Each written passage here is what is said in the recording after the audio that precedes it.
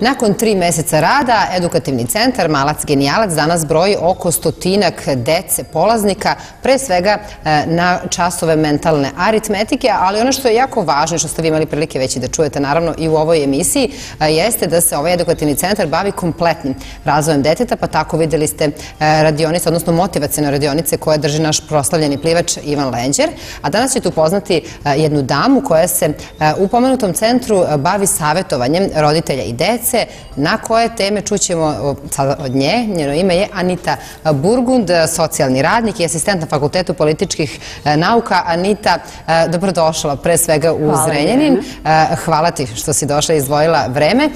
Zanima me kako si ti odlučila da se pridružiš ovom timu zvanom Malac Genijalac i zašto si odlučila?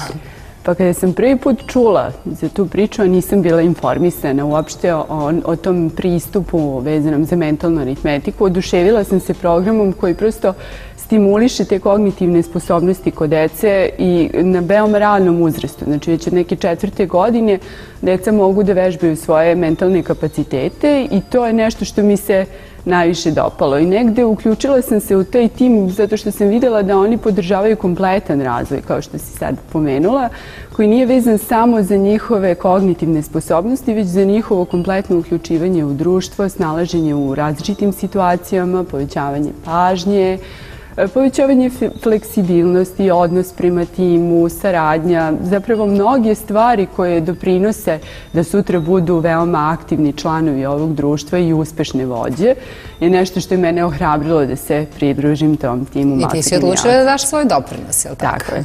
Da, e, rekla sam i u samoj najavi e, ti držiš savjetovanje, je li tako, sa roditeljima i sa decom.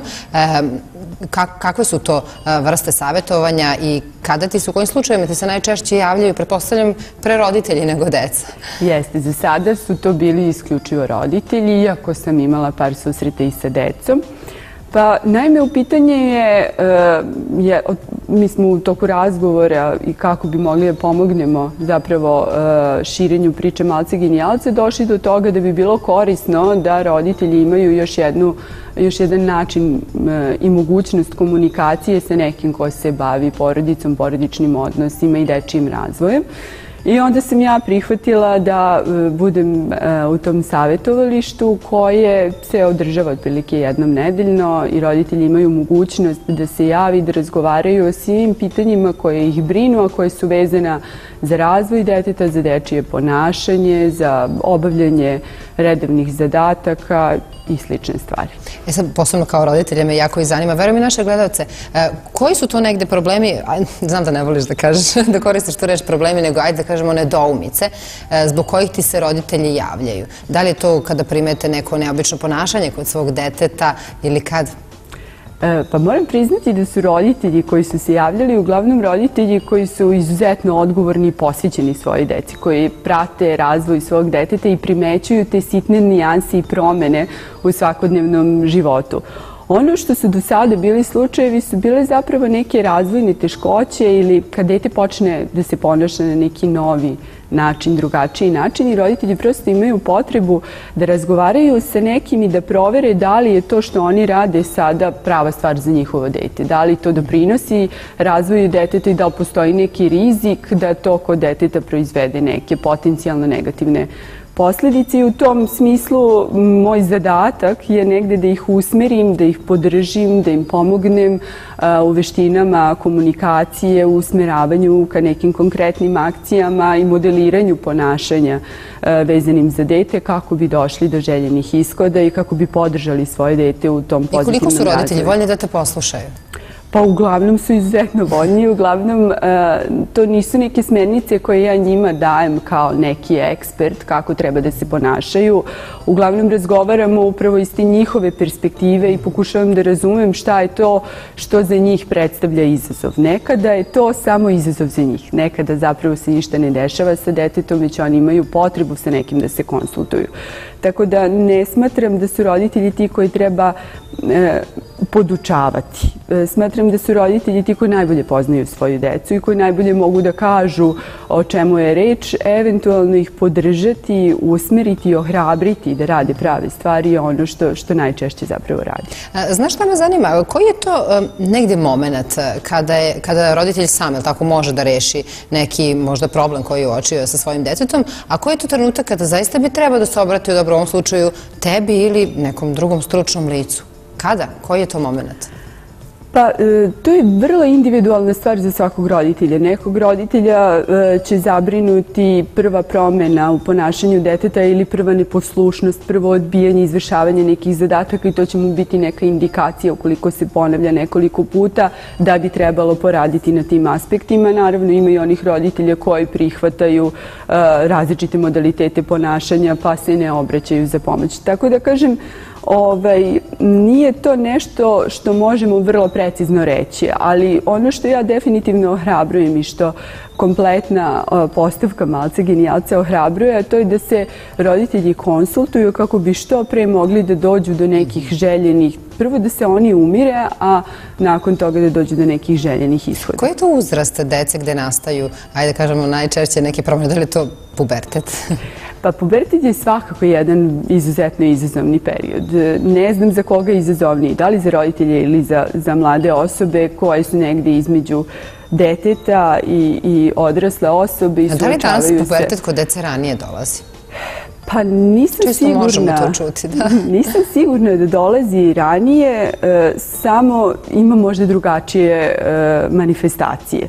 Možda je pubertet i ranije dolazi u to vreme, ali nismo bili toliko slobodni o tome da govorimo i te manifestacije nisu bile tako vidljive i upotreba informacijenih tehnologija nije bila toliko razijena ali nisu samo roditelji dece adolescentnog perioda, oni roditelji koji se obraćaju, dolazi roditelji e, mnogo mlađe dece, jer svaki razvojni period ima neke svoje razvojne zadatke i svako ponašanje deteta može da e, se transformiše u svakom uzrastu. Tako da je to individualno i zaista sam imala mogućnosti da razgovaram sa roditeljima dece veoma različitog uzrasta, dakle od 4-5 godina pa sve tamo do 12-13 godine. E sad, ti kao neko ko već ima jedno lepo iskustvo e, u radu sa decom i sa porodicom, e, zanima me da nam kažeš koliko e, roditelji danas, eto zbog brojnih nekih obaveza koje svi, ili tako, imaju pažnje, opšte prvo da posvete deci, da razgovaraju sa njima, ili odmah hrle ka tome, e, odvršću ih, evo sad kod, ne znam, ne psihijatra, pardon, kod e, pedagoga, psihologa i tako dalje u školu ili recimo kod tebe e, u Malac genijalac. Pa, meni se čini da roditelji, bar ovi roditelji sa kojima ja imam kontakta u Malcu genijalcu, su roditelji koji se dosta bave svojim decom i koji su vrlo usmereni na njihov razvoj kompletnih potencijala, tako da oni e, kada govore o svojoj deci, ja vidim da su oni veoma, e, ne samo da su ispratili u smislu da su upućivali decu na različite aktivnosti, nego da su zaista pratili taj njihov razvoj i dolaze da još jednom provere da li su na pravom putu. Tako da mi se čini da možda, možda nije ovo reprezentativna ovaj, populacija, ali oni roditelji sa kojima ja ovdje imam kontakt su roditelji koji su izuzetno posvećeni, vrlo odgovorni i mislim koji će imati puno uspeha kasnije zbog tolikog angažmana u radu sa, sa svojim decom. Da li ti se čini možda nekada da smo deci nametnuli, mi kao roditelji, danas i previše obaveza? E, evo recimo konkretno imamo školicu mentalne aritmetike, naravno Malac gimnaz, koji moje dete naravno pohađa.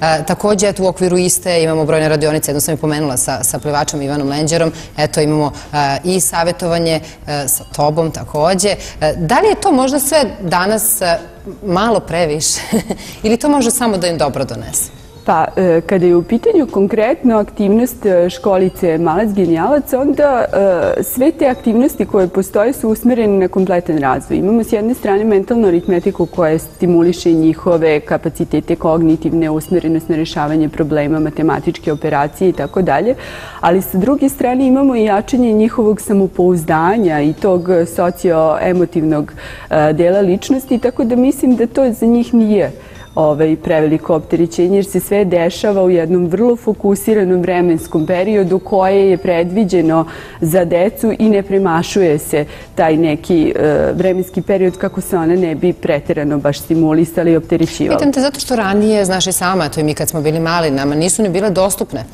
ovakve radionice, ovakvi časovi. S druge strane, sad, da sam malac genijalac, ne mogu da kažem zaista da bi preopteritio bilo koje dete, ali pitanje roditeljskih ambicija je potpuno drugo pitanje i da li pored tog malca genijalca roditelji usmeravaju decu na veliki broj aktivnosti, pa onda dete nema dovoljno vremena da se igra i da se prosto ovaj, druži, to može biti već Upravo to, sad sam mi dala odličan šlagvort na sljedeće e, pitanje. Koliko smo mi kao roditelji nekad preambiciozni se susretala sa, sa tom pojavom? Pa jesam, ali opet e, ambicioznost roditelja e, nije problem ukoliko je usklađena sa detetovim potencijalima. Dakle, ono što ja smatram da roditelji poznaju svoju decu i da mogu negde sajedno u komunikaciji sa njima da odrede koja je to mera aktivnosti koja je adekvatna za dete. Ukoliko oni pokušavaju da, im, e, da ih uključe u veći broj aktivnosti od onoga što dete može da prihvati, dete će reagovati.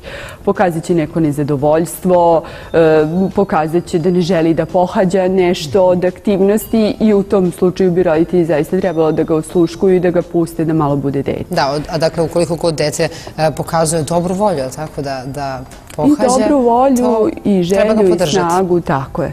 Tako je.